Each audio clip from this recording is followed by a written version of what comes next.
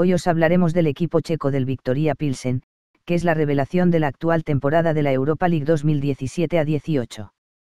El Victoria Pilsen hizo una sensacional campaña europea, y pudo llegar hasta los octavos de final, donde perdió la eliminatoria en la prórroga contra el Sporting de Lisboa.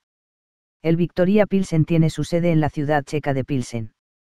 Desde 2010, cuando ganó su primera y hasta ahora y única Copa Checa, el Victoria Pilsen ha experimentado un crecimiento de calidad espectacular, que le ha hecho ganar cuatro títulos de la Liga Checa en 2011, 2013, 2015 y 2016, todas en un breve espacio de tiempo. Además lleva ganadas dos Supercopas de Chequia. El Victoria Plce se fundó en 1911 como Sportovny Club Victoria Plce, y en sus primeros años jugó en distintos campos. No tuvo su propio estadio hasta 1920, cuando compró unos terrenos en la ciudad de Pilsen.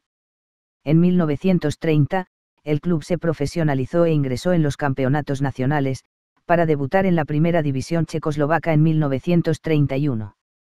Ahí aguantó siete temporadas, hasta su descenso en la campaña 1937 a 38.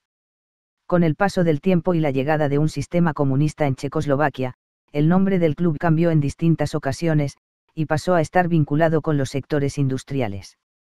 A lo largo de su historia ha tenido otros nombres, como Sakal Pilsen, Spartak Pilsen y Skouda Pilsen, en referencia al fabricante de automóviles Skoda.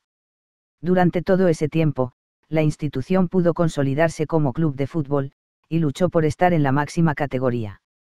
Su mayor éxito fue en 1971, cuando conquistó la Copa de la extinta Checoslovaquia, contra el equipo filial del Sparta de Praga. No recuperó su denominación actual hasta 1992, poco después de la caída del régimen comunista en Checoslovaquia. El equipo luchó por permanecer el máximo tiempo posible en la primera división checa, aunque durante muchos años permaneció en la zona baja de la tabla. En los años 92.000, el equipo se convirtió en un equipo que alternaba ascensos con descensos de la primera a la segunda división. A partir de la temporada 2009 a 10 sus actuaciones mejoraron, y el club ganó la Copa Checa contra el FK Baumit Jablonek. Un año después, en su centenario, el club de Pilsen ganó la Liga Checa por primera vez en su historia, lo que le permitió disputar la Liga de Campeones de la UEFA 2011 a 12. En 2012 ganó el Grupo B en la Europa League, en los 16 avos eliminó al Nápoles, pero fue eliminado en los octavos de final por el Fenerbahce turco.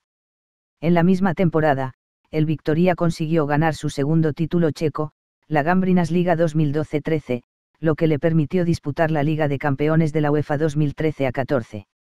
Esa temporada llegó a octavos de final de la Europa League, siendo eliminado por el Olympique de Lyon.